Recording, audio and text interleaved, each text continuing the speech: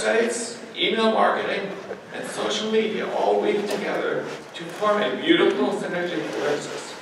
She teaches WordPress at Myra Costa, MiraCosta Community College and started the Carlsbad Word, WordPress meetup. When she's not playing with her grandkids, you can find her at amyhall.biz, which she runs with her business partner and husband, Terry. Please give it up to, for Amy Hall.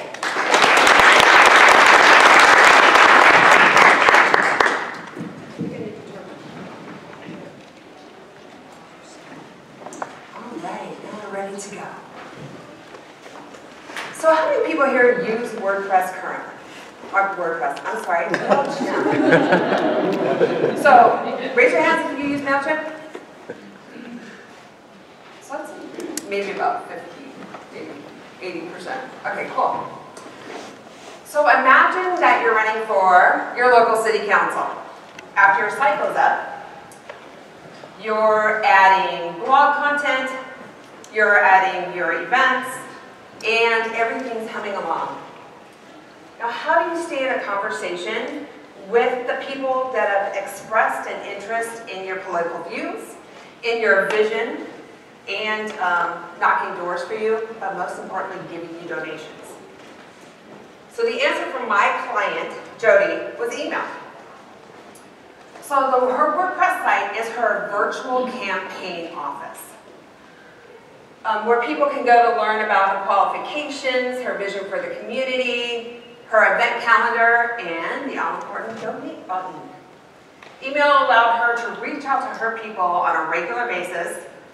So when she needed people standing on the corners to hold signs, they were, she reached out to them via email and they were there. When she needed donations really bad, she reached out via email, and her donations were there. So email allowed her to build a very strong volunteer base. Oh, and by the way, in this past election, this, this last week, she won.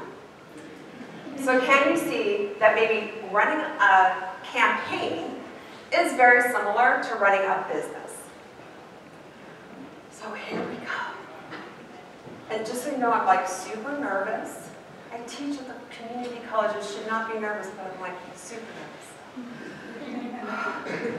We're nervous too. That's not necessarily a good thing. All right. So the three things we're going to the things that we're going to talk about today is three things about wonderful WordPress, three things about magnificent Mailchimp, how to use Mailchimp and WordPress together to create a synergy.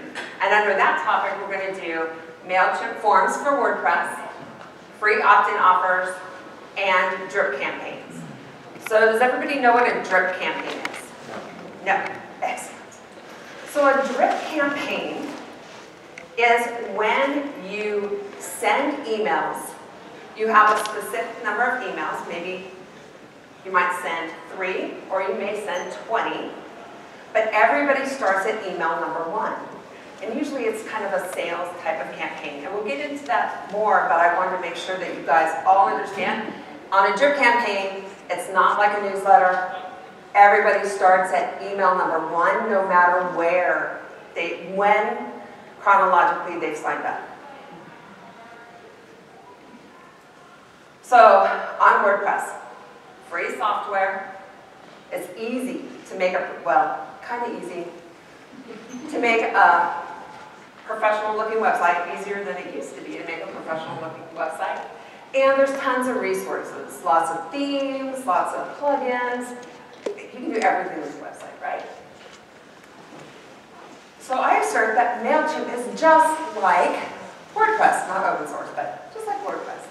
It's free software. If you have 2,000 or less email addresses in your list, and you send less than 12,000 emails a month.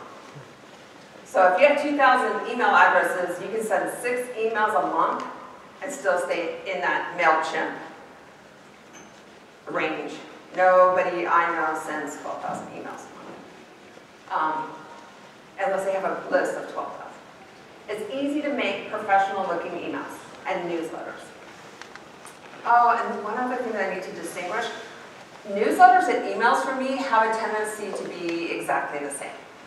We're not talking like if you're um, emailing from your Gmail, that's completely different, and I use the same word, I'm sorry. All right, so lots and lots and lots and lots and lots of integrations with MailChimp. There's social media integrations, there's Google Analytics eh, integrations, you can integrate Eventbrite. There's a ton of CRMs that you can integrate.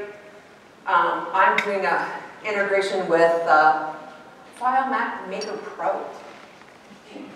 Yeah. Um, FreshBooks, you can integrate your FreshBooks, you can integrate PayPal, you can integrate Zendesk, you can integrate e-commerce with WooCommerce and Shopify, and that's just like scratching the, the surface. So here's how you create synergy. And another thing, please ask questions during the presentation. I want all questions to stay in context, and if we leave them to the end, we'll lose the context of the question. Okay, so for MailChimp forms, you should always have a subscription form on your website. Always, always, always, always, always have a subscription form on your website. Even if you're only emailing, quarterly have a subscription form on your website. Um, and your subscription form should be prominent, not in your footer. I just helped one lady and her developer put her form in her footer.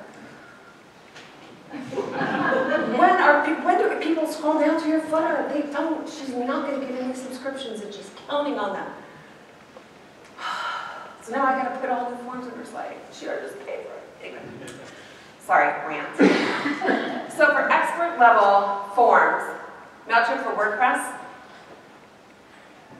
MailChimp WordPress, you can use CSS styling with that, and there's a premium, um, you can pay for the premium plugin, and then you can do drag and drop styling. So intermediate forms, easy forms for MailChimp, again, you're going to use CSS for the styling. So this is my favorite form. It's super easy and it's always beautiful. I like pretty forms, but not too pretty. And so I want them to be pop. I want them to look different